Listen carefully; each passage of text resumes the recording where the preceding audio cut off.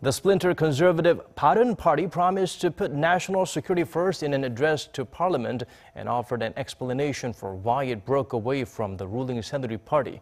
Ji Myung-kil zooms in on the last in a series of addresses by the four leaders of each South Korean party outlining their policy priorities.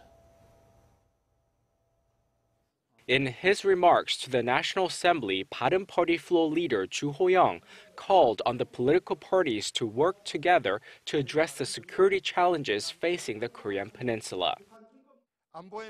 There cannot be a confrontation between the ruling and opposition parties where national security is concerned. Therefore, I propose establishing a bipartisan committee to make our security policies consistent. We must take action for our national interest.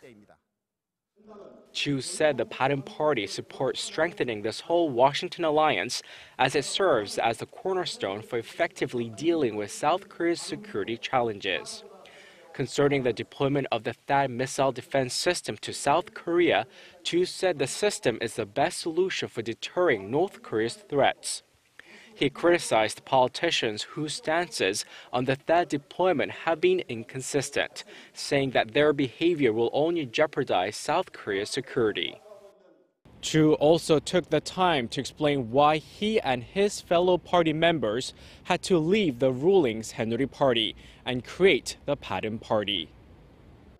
Joo said he and the lawmakers who left could not cope with the ongoing factional feud within the Saenuri party.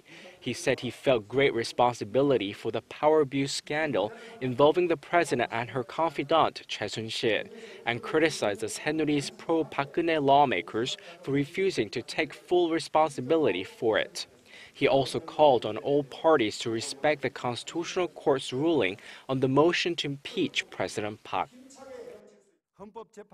We must, without question, accept the Constitutional Court's decision on whether it will uphold or dismiss the parliamentary impeachment motion. Joo concluded by promising that the Bareun Party would preserve the true values of conservatism. Ji Myung-kil, Arirang News.